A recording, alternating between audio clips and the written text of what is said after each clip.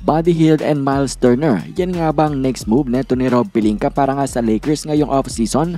Well, yan nga ang nireport ni Jovan Buha na ito nga daw indie trade ang preference ng team ng Los Angeles Lakers kahit nga matapos ng trade nila kay Patrick Beverly.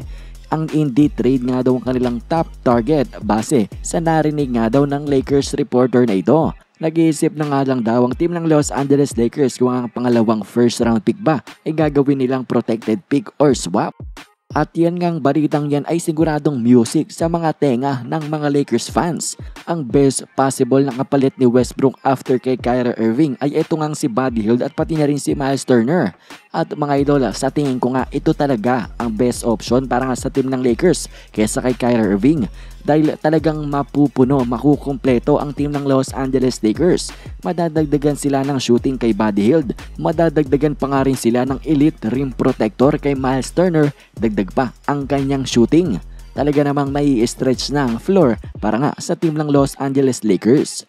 Kaya nga mga idol, kung para lang naman sa akin, sa tingin ko, ito ang best possible move para nga kay Rob Pelinka ngayong off-season, kapalit nga ni Westbrook. Pero kayo mga idol, ano bang masasabi nyo dito? Komento nyo lamang yan sa ating comment section. At ngayon naman ay puntahan natin ang balita patungkol sa Cleveland Cavaliers at sa team ng Utah Jazz. May interest nga sila dito kay Donovan Mitchell. Nakipag-usap nga sila sa team ng Utah. At mga idol, ang possible nga daw na i-offer na ito ang team ng Cleveland Cavaliers para nga kay Donovan Mitchell ay ito nga si Colin Sexton, Isaac Okoro at tatlong first round pick. Well, parang fair naman na itong trade na ito para nga kay Donovan. Pero ayon nga sa hinihingi na itong team ng Utah Jazz, sa tingin ko gusto pa nila ng mas madaming first round pick kesa nga sa tatlo lawang. Maybe 4 to 5 para nga mapa-oo ang team ng Utah. At kapag nangyari nga ito mga idol, nakuha ng Cleveland Cavaliers itong si Mitchell ay magiging legit playoff contending team na nga rin sila at possibly in the next few years, championship contending team. Pero anyways nga mga idol, para na sa ating panghuling balita ay pag-usapan natin ang kakaibang history na ginawa nga netong team ng Golden State Warriors sa kanilang playoff run last season. Dahil tinalo lang naman nila mga idol sa playoffs ang MVP, Most Improved Player of the Year at Defensive Player of the Year.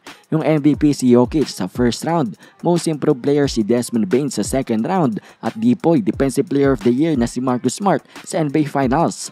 Pangalawang team lang sila na gumawa niyan mga idol, behind nga sa team ng Chicago Bulls noong 1997. Golden State Warriors at team pa lang ng Chicago Bulls ang nakakagawa nito mga idol in a single playoff run. Tinalo ang MVP, MIP, and Depoy. Pero anyways mga idol, yan na lamang din muna para sa ating mga balitang NBA ngayon. Maraming ang salamat sa inyong panonood. Huwag na rin kalimutan na mag-like and subscribe. Bye!